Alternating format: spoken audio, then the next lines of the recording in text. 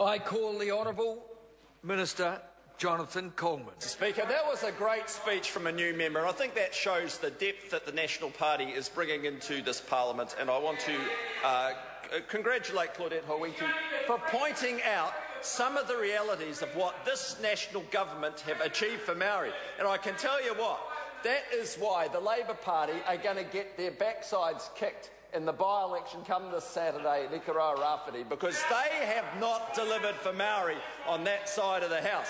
And one of the big reasons is when you pick up the front page of the Herald today and you see this picture of David Shearer banging his head against the wall, that is not something that inspires confidence. It, I knew it had happened. Uh, point of order, the Honourable Trevor Mallard. Speaker, I was um, I wasn't present in the House earlier. I think you're, are you allowed to refer to your own absence? I think you are. I was, I was, I was away a little earlier, Mr. Speaker, but I thought uh, that the Speaker, uh, it appeared on the radio at least, uh, that he was ruling against the continued use of a device by Mr Henare and it indicated to Mr Henare if he held it up again, he would be required to leave the House. He has, sir. Well, all I can say is that order, order, order, order. All I can say is that uh, refer members to uh, Standing Order 1092, which is to do with visual aids. It, should, it says they should only be displayed when a member is speaking and must be removed at the conclusion. Now, the member is not speaking, he cannot display a visual aid, and he should know that. I was here when he was set before. I take the, all members are honourable, and I accept the member's word. I call it and order, order, order, order. Point of order, the Honourable Trevor Mallard. Uh, Mr Speaker, the member most certainly held up a, a placard or a, with, a, with a figure on it, sir. I didn't see what he was holding up earlier. Uh, Mr Speaker, he order. held it up here, but I assume it was a thing that he was required not to on warning that he'd be kicked out of the House. Right. Uh, Mr Speaker, a repeat offender, I think that's a naming offence. Oh, order. All I can say is that the member has given me his word that he didn't do it. All members are honourable. If, if it's other order, order, order, if it is otherwise, then there is the possibility of breach of privilege.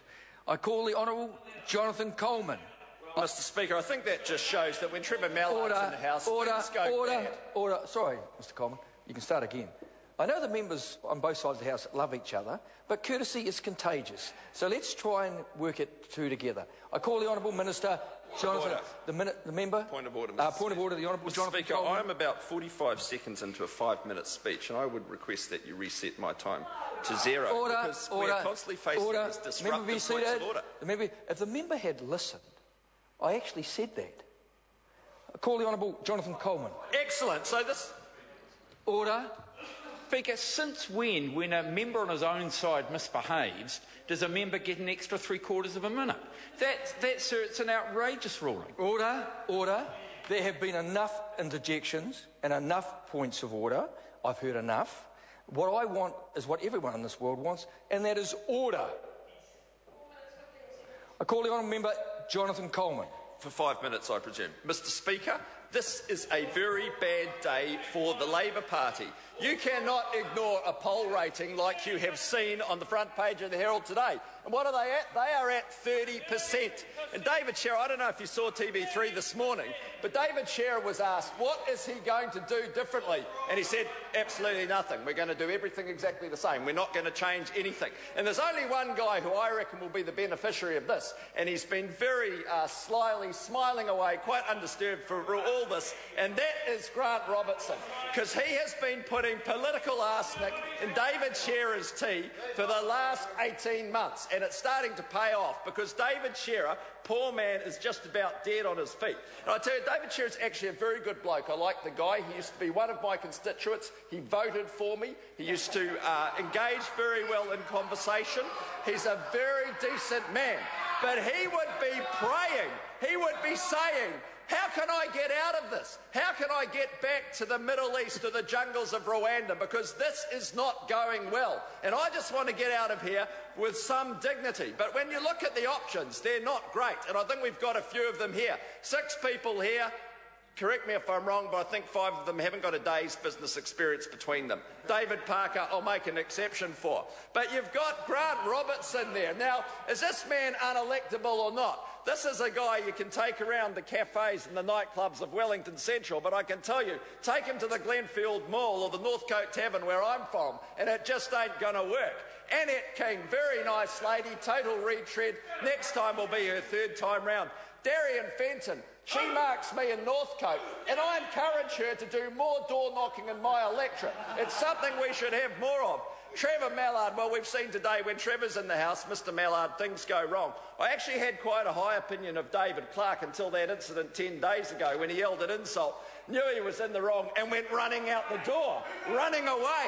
And then he realised, he realised that it didn't look good to run out of the house, so he came back under Trevor Mallard's tutelage and he apologised. So he's definitely not up to it because he can't face up in the house and take his medicine. So that's a real shame because that was a young man with some promise. And of course, Trevor Mallard, need we say more? In fact, I wish Trevor Mallard would come and do some door knocking in my electorate. That would be the ultimate. That would really get the party vote going. But what I want to say, Mr. Speaker, is that group over there, they are focusing on the things that don't matter to New Zealand. They focus on the parliamentary bickering, they focus on the points of order, they focus on the backbiting in select committee. And you know what? Actually, the general public don't watch any of that stuff. But what the public know is under the national government, when their kid is sick, the under sixes get a free doctor's visit. When they need to get cancer treatment for their mother in law, their grandparent, Within four weeks, they're getting that treatment in Australia. When Annette King was Health Minister, it took weeks and weeks and weeks, and people died on waiting lists. And their answer in the end was to kick everyone off the waiting list. What you can see today, the OECD report on education, New Zealand is doing excellently. And the work that my colleague Anne Tolley did around national standards, these guys said it would never work but it does work because we're connecting with parents, and parents know that it's the right thing to do. If you look at law and order, 600 more cops on the streets. The cops love the Minister of Police. They're glad to be rid of that tawdry lot who were in government before, who had no regard for the police, and still show that when Trevor Mallard gets up in a select committee and abuses a public servant, abuses Mike Bush, the Deputy Commissioner of Police, which is totally unfair because Mike Bush can't talk back. And that is not the mark of people who you would ever want in government. Those people over there are a disgrace. But meanwhile, who have you got that can unite the Labor Party? There's one man. It's David, uh, David Cunliffe. They are united in their hatred of him. It's the one thing they all agree. They don't want David Cunliffe as leader or prime minister. So when you look at it, it's pretty bad news over there. But we're focusing on rebuilding Christchurch.